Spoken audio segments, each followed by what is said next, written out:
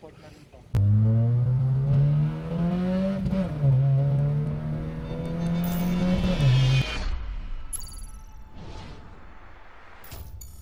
What's up potatoes? What's up sa inyo mga patatas? Babalik tayo guys syempre sa panibago video. Review natin ngayon um, Toyota Corolla guys oh. Small body. Ayan, kita nyo dyan. Kaya natin ito review guys no kasi syempre kapwa carb type. And uh, syempre para mapakita sa inyo ano yung mga iba't ibang build ng mga small body. So ayun, tawagin natin yung owner guys. Let's go! Review natin ngayon guys. Alamin natin anong bawon ni Papi. Boss Nico, ayun, kamusta? First of all, bakit uh, small body na pili mong sasakyan? Actually, uh, unexpected din. First owner niya is yung brother ko, yung panganay namin. Naghahanap siya ng kotse noon, and then ito yung napili niya. Pero hindi pa ganyan itsura noon. Naka JDM bumper lang, tapos stock height. Second hand lang namin siya nakuha. Tapos nung ano, kinasal na si Utol, naiwan na to. So, kami na yung nagtuloy. Papi, carb type pa rin no? Oo, carb type pa rin. Wala kang balak i-upgrade. Meron, ah, pag may budget siguro, bala ko din. Magpalit ang makina. Gano'n naman tayo lahat eh, no? Wala namang masama eh, no? Budget lang ang problema talaga natin, no? Oo, so ngayon, in-enjoy ko muna yung 4AF, konting upgrade. Sa ano, kontento ako sa takbo niya, okay pa naman. Ba't pala JDM ang napili mong tema, papi? Kasi noon, grupo Toyota days, ah, doon na uso yung mga JDM surplus eh. So, parang naengganyo kaming buuin. Pero sa labas lang, kasi yung sa loob medyo ginto na yung ano, Ano? na. Saka yung tema ng kotse naman clean look sa labas, tapos ah, racing lang yung loob. Pero pinag-racing mo yan. Street track day lang yung sa Vios Cup noon na ano lang kami, tourist run. Pero hopefully madala ko rin siya sa mga BRC, yan, Clark, para ma-testing ko din. Lowered, lowered ko pa naman, papi, no? Grabe yung pagka-lowered ni papi, oh. Ano reason? Bakit ganyan ang ano? Sadsad na sadsad. Ako talaga coilovers eh. Kaso yun nga, ah, budget din syempre. Kay Toy Flores ako nagpagawa ng suspension. Tornos lids, adjustable pa rin siya. Tsaka nandun kasi yung gusto mong setup eh. Ma-adjust mo eh. So, eto semi-stiff lang. Tapos adjustable ride height. Ayun, nakuha ko naman yung gusto kong tindig niya. Maganda lapag yun, no? Ay, no. Butcho, parang ano, no? Wala atang hamp sa inyo, papi, no? Meron, meron.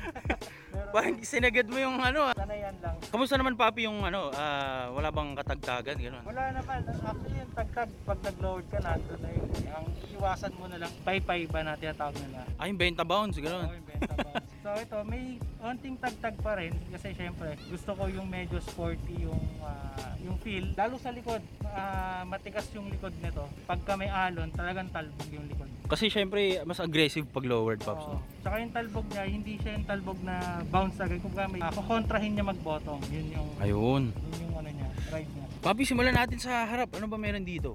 Ano lang, JDM na headlight, lock housing, GT Gen 2 lang na grill, na may GT pad, tapos JDM bumper, printer chin na fiberglass lang. Medyo kakaiba, hindi ka nakawagon, no? Oo, kasi ano, mas sa akin mas matapang kasi tignan. Kumbaga, para sa akin ah, mas pogi yung ganito. So, gusto ko lang i-retain yung headlight niya na yan, ganyan, manipis lang. Tsaka ako rin, papi, gusto ko rin wagon. Budget lang talaga ang ano, problema, no? Maganda naman mag-wagon fix. Lang para maiba lang din kasi syempre ah, sa 92 marami na din 'di ba mga JDM team. Oo. Talagang papigata na lang na setup. Pero yun nga, para maiba naman saka medyo unique din.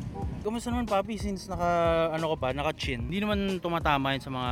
Masayad talaga siya. Parang recently lang, naging two-piece na yan, chin na yan. Pina-repair ko na lang ulit. Pero yun nga, ah, kaya naman, maganda naman yung pagkakagawa ng fiber. Yun, nasanayan lang talaga sa mga sayad. Dapat magaling sumete, paps. Oo, oh, shit, talaga. Shit, king, no? Pa- Papi, check nga natin yung makina. Ah, Ano bang baon natin dyan?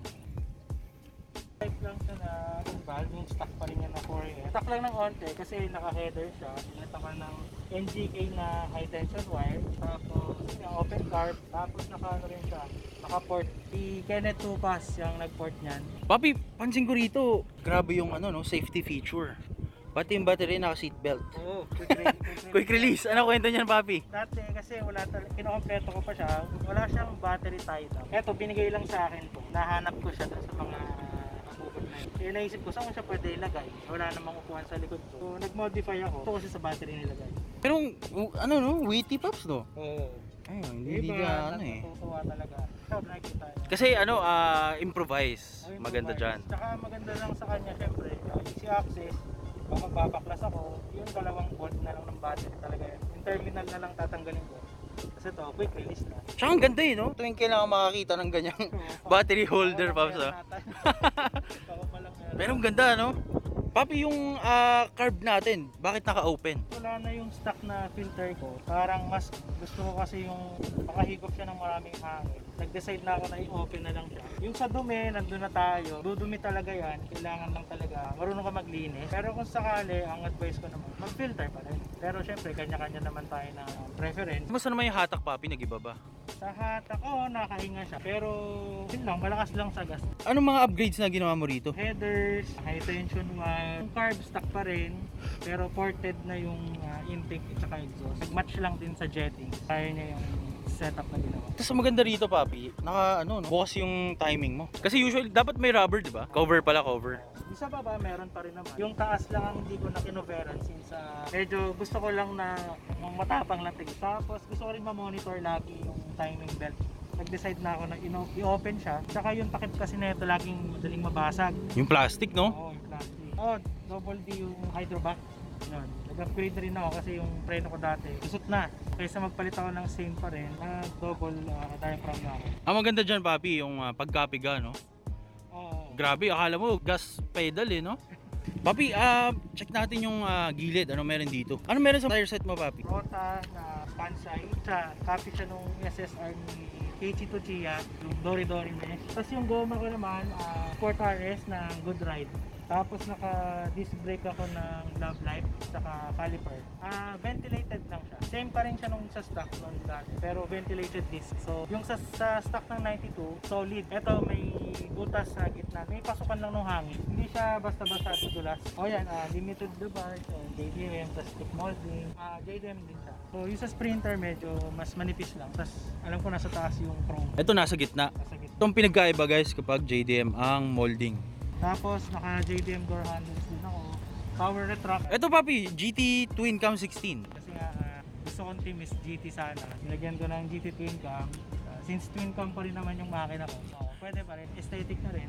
Dito sa likod papi, ano meron? Naka ano ako, third brake light na pang back glass taillight ang tawag nila. Actually sa sa mga European pero since sa sa taste natin kasi old school naman. So kinabit ko na rin.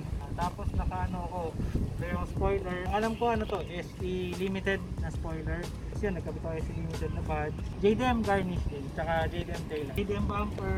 Ito papi, medyo amusing to. Anong meron dyan? Actually, yung ginaya ko dyan, yung mga mga Silvia sa Japan. Kita kasi lagi siya naka twin twin tip. So, tinignan ko yung forma niya. Pina-fabricate ko kay Jomar. Jomar Exhaust. Yun, nakuha ko naman yung gusto kong tunog, saka yung forma. Silipin nga natin sa side view. Yun. Para maiba lang din. Papi, interior, baka pwede natin masilip. Ah, sige, pwede naman. Sa interior natin, ano meron? Ah, simple lang naman to. Ah, ano lang siya, naka like, ano lang siya, dashboard, upuan, tapos 2 din lang na ano for entertainment din para maganda naman yung sounds. Tapos JDM na steering wheel, tsaka TRD shift knob, stock gauge pa rin, nilagyan lang aftermarket na gauges. Temperature, oil pressure, tsaka volt. Papi, ito medyo, kita ko dito, map light, medyo rare yan ah. Ah, itong map light, bigay lang ni Utol yan sa akin. Nabili niya sa Star Plus. Pero kung bibili ka ng brand new nito, I think mga nasa 6K. Ito nakuha niya ng 300. Pesos? Oo, pero orig na hela. Paps, baka gusto mo pakilala sa kuya mo. Magaling lang talaga siya makalungkat. Papi, yung upuan mo, ano meron dyan? Ito, printer merino seats na hardback.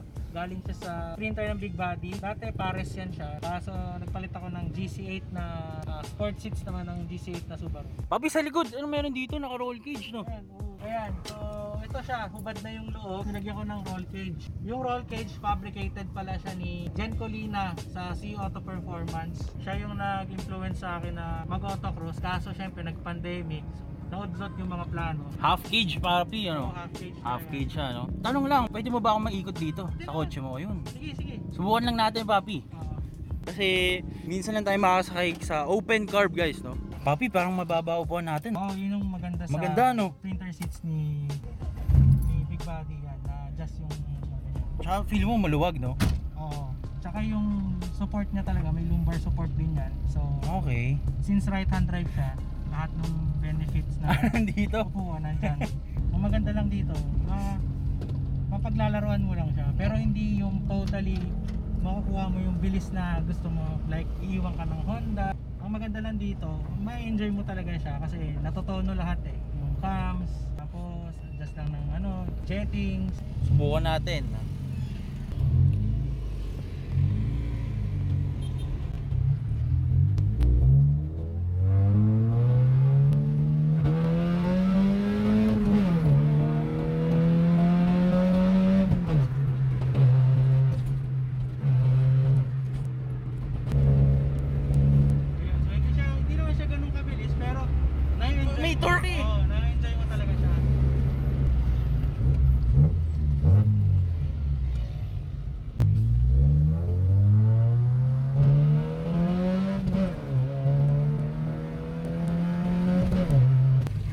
Nag-iiba no?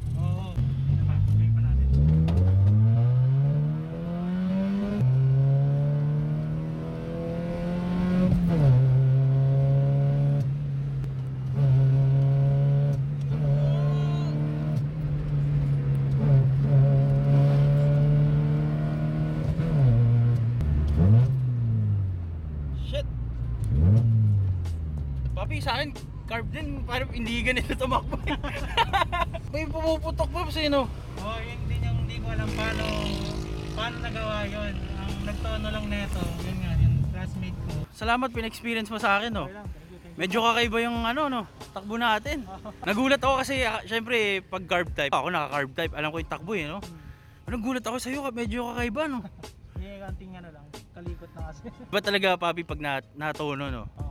Kaya nakaka-enjoy talaga magbuo rin ng mga underpower na makina. Kasi syempre yung iba unexpected yung ano hindi nila alam na may potential. Tamang tono lang talaga. Papi, baka may, ano, anong mabibigay mong tips sa mga gusto bumuo ng, ano, Corolla small body? tsaga lang tapos simplihan nyo lang ah, kung ano lang yung dapat ano yung goal nyo sa kotse yun ang i-gawin nyo nyo ng pang daily yan bilisan mo lang pag gusto mo naman ng konting may takbo focus ka sa makina tapos pang ilalim syempre preno din saka safety. Papi, baka may gusto ka i-shoutout. Ah, yun nga, shoutout kay Kenneth Tupas, yung nag-tune ng 4F ko. Siyempre sa family ko, saka sa wife ko, sa Chima, never ending support sa mga bisyo ko sa kotse. Ah, yung pamangkin ko, Renzo Legaspi, si Utol ko, Rainy Dubusay. Tapos, Papi Jen Colina, si Auto Performance sa half cage. Taga ano kasi ako, Nissan Sukat. So, training coordinator ako doon. Pag may gusto kayo, ah, brand new na Nissan, punta kayo sa SBC Sukat. Visit nyo yung showroom namin. Marami kaming bagong labas na kotse ngayon, lalo yung Terra. Bob, salamat ulit. Ah, pinakita mo sa akin at pinasakay mo. Kita-kita tayo sa mga susunod na video guys and ah, peace out.